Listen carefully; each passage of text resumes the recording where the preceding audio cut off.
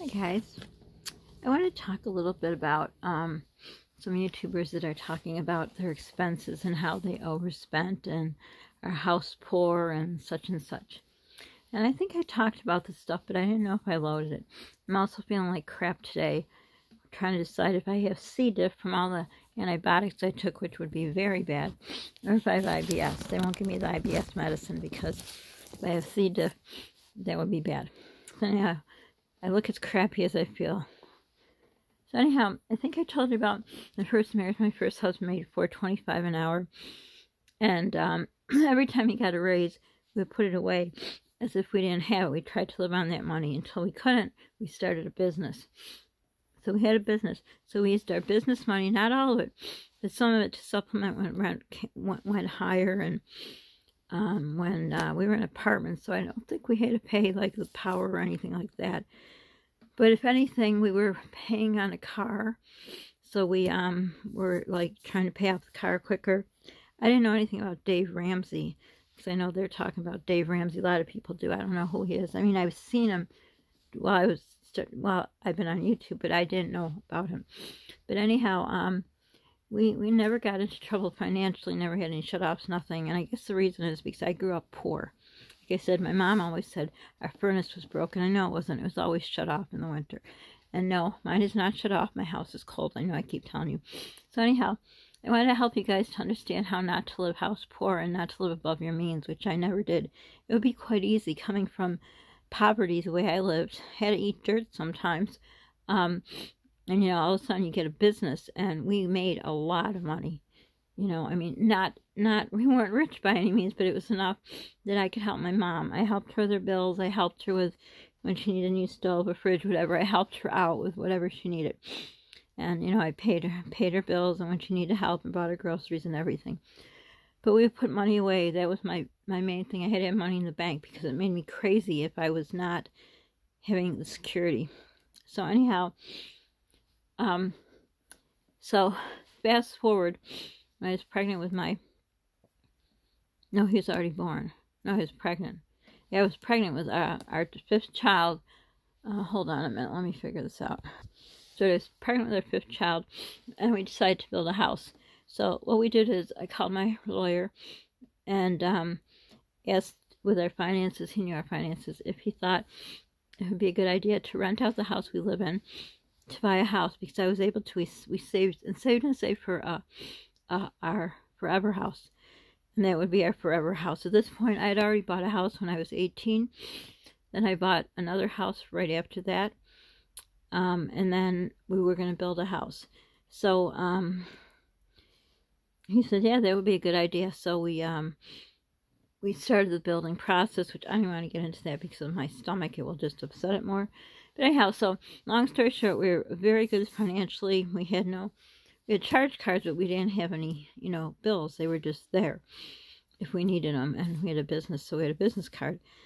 So anyhow, we started the process of building our house. And as we were building the house, I kept saying, I'd taken videos when they break the ground and all that. And I kept saying in the video, I don't think this is going to be ours. Like, oh my gosh, I can't believe I'm finally getting my own house and building or whatever. So fast forward, we rented out our house to um a woman and her father um, got, you know, there was, I think, halfway through, whatever. There's going to be many videos from this one because my husband leaves at some point during all this crap too, but that'll be another video. So anyhow, everything was set. We had a contract with our renters. The house was going good. Um, and I'll tell you more about the house, which turned into the FBI because of our renter, and I don't even know if I told you about this, and maybe an allergic and all that. But anyhow, the point is a financial point. So we were ready. We went to closing. Um, no, it was the day before closing, and I got a letter from my letter. I got a call from my lawyer that my tenant, um, the deposit, security deposit, first and last month's rent was a bad check. And, um, oh, it was on our way to closing, I believe. I don't know. Closing a day before. Who knows? I don't remember long ago. Anyhow, so we went to closing, closed on this house, and then he told me. Let's just say he told me then. So I'm like, oh my gosh, now we have two houses to pay. But actually, we, we wouldn't. We could, you know, go after her. Well, number one, she she wrote bad checks, three of them. So anyhow, I called her up and I said, you know, you've written bad checks. I tried to talk with her. She went crazy on the phone with me. I was pregnant with our fifth child, as I said. So anyhow, long story short, she um she was a scammer. So it turned out good that that happened, good and bad. Um, good because I'll tell you further along the story because I'm going to try to download this at my house. But I'm going to tell you part of the story, what happened. It was good that I ended up keeping my house. The bad part was we had to pay two mortgages. Actually, three. But, um, but we were able to do what we did because we never lived above our means. And that's real important. That's why it's really hard for me when I had enough courage swallowed my pride because I'm a very proud person to put up this GoFundMe. I've never been in a situation where I don't have money. Something happened in 2016 that destroyed my life, pulled the rug out from under me. Again, you know, I, I do these videos ahead of time and I don't know if I put them out there. But I didn't feel so crappy I would have gone through some of my videos. But anyhow, that's why now I am I am literally in dire straits. And um, someone I had another troll, of course, it was horrifying. got rid of them, but anyhow, it was uh, an attack on me, which makes it worse because attack on me. I, I'm not even going to talk about it anyhow. So that's why it took a lot for me to put up the GoFundMe because I really do need the help. I need the help. There's no, no other way. I can't. I, I've done everything. I'm not going to repeat what I said already. I've done everything. I need to do these things to correct the error that was done. No, you can't sue the dentist. Dentists have lawyers and all that, and it doesn't work. I can't I can't do anything. I've tried everything. So yes, I have care credit, but they only give you so much credit, and I can only pay so much a month on it, and that's sad. You know, what what can I do? Go in and charge it up to the hilt, which I did, and I paid off half of it, and charge it and don't pay it. I'm not that type of person, but they didn't give me a big line of credit. So anyhow, that's the reason I had to do it because I have to eat. I can't go on like this. I mean, the stomach I'm going to the doctor in, I don't know, three, four weeks. He'll probably say, well, you're not eating. It could be from that. If it's not anything worse, I hope it's not C. diff because I'll end up in the hospital. What will happen to Polly? I don't know. But anyhow, so I just want to let you know, I didn't just put it up there on a whim. I did it because I really need the help. I just, I don't know how much longer I can go on just living on whatever. I had a little bit of that shredded or shaved turkey the other day, and I don't know if I got sick from that maybe. Who knows? I don't know. I don't know anymore. I don't know. I feel like crap. I feel awful. But please keep praying for Miss Phyllis.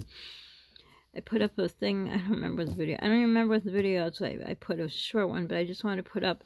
I don't know if I'll be able to put them up. I don't know if I'll be able to load this. I feel like crap. I really do. I'm literally on the toilet all the time. Not now. Don't worry. I'm not sitting on the toilet. But I just wanted you to know I would never put up a, a GoFundMe unless it was very, very, very needed. And it is.